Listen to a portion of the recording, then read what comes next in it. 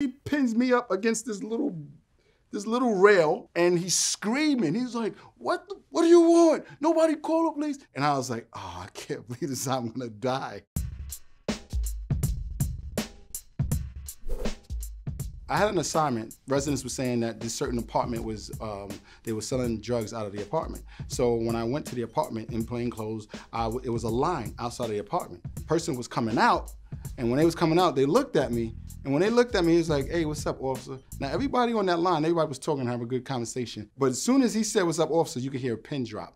So during training, everybody's always said, if you ever get made as an officer, you gotta you gotta act like somebody just smacked your mother. You gotta be, it's so offensive. I was like, who you talking about? How and then I did it so fast and I was yelling, I was screaming, I was cursing at him. He was like, oh man, I'm sorry, man. I thought you just looked like this officer. No, I know. And then the guy at the door, he had a shotgun. He was like, yo, it's closed. Everybody get out of here. And then he went, closed the door, and everybody just cleared out the hall. But when I was walking out, it, I, I can hear tone. You ever had your, your ears pop? You hear that, you hear that tone? I had that tone in my head all the way walking out. I think I had to leave that day too because after that, I couldn't shake this headache. Just because you go from zero to 100 just like that, it can happen. First, they send you to undercover school. It's like a away camp.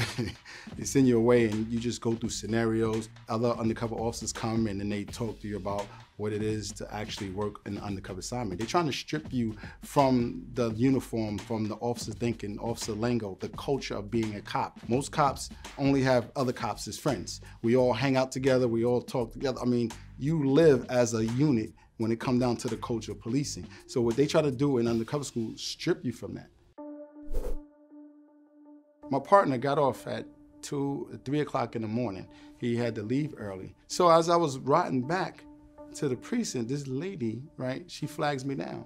And she was like, my boyfriend, he's from um, Most Wanted, and he's upstairs, and everybody's looking for him. You don't know how many times I've heard, you know, a girlfriend say their boyfriend is highly dangerous, he's gonna kill the police, like he's just because they got pissed off at him because of whatever reason. In my mind, I was like, let me just go talk to this guy, see what him and his girl was the problem. She showed they living in a rooming house, right? So you walk up these, you walk up these stairs, and then you turn, and it had this railing, right?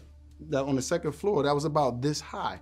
So she tells me he's in a certain door. So as I was walking by this room, the door swung open and it wasn't the door that she even pointed by. And this dude was about six, six. He had boxes on, right? He had nothing on on the top. he just had boxes on. He pins me up against this little this little rail and he's screaming. He's like, what do you want? Nobody call the police. And I'm just, I'm leaned over the rail like this and I'm looking down. I was like, can I shoot him? Right, this is what I'm saying to myself without getting flipped over this rail. Just the mere fact that he was that much bigger. And if I shoot him, he's just gonna lean.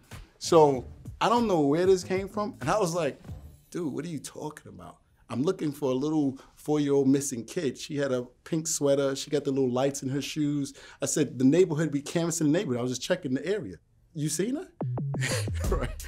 So he looks and he says, oh man, he, he, puts out his hand and he pulls me up. He says, man, I'm sorry, man. Y'all always messing with people. I said, man, that might be the case, man, but not this time. I said, I'm really looking for this girl. I said, have you seen her? He was like, nah, nah. And he said, I hope you find her, man. I said, if you see her, call 911. And he's like, all right, thanks. I went downstairs. This girlfriend was downstairs. She said, did you see him? You ain't tell me that. You picked the wrong door. I said, lady you almost got me killed. well, I was a part of an investigative unit and the captain assigned our unit to investigate this guy who stole some checks and he was going around cashing them at check cashing place. So we picked a, a check cashing place to where we thought he was gonna come next. So we're in plain clothes, playing the clerk employee. The guy comes in and he passes the check walks away from the counter after receiving his money. We grabbed him, placed him in custody, no problem. So my partner now, he's like, you always get to interrogate. He says, let me do it. I said, sure? He's like, yeah, yeah. He said, I can do it. I said, all right.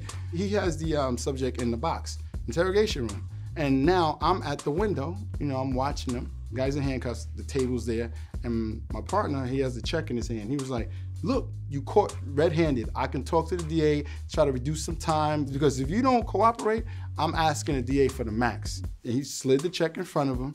He said, now do the right thing, I'll be right back. So he comes outside. So I'm standing there and I'm watching him and his back is to the glass so I can see the subject at the table. So I see the check and then I see the subject like this. And he leans over he eats the check. So now I'm looking at the officer. I said, yo, man, him eating the check, is that part of your game plan? Take it around. So he turns to oh, and he runs back inside. He's trying to get in his mouth, and the guy is chewing and chewing and chewing. So he comes back outside. I was like, yo, what I supposed to do?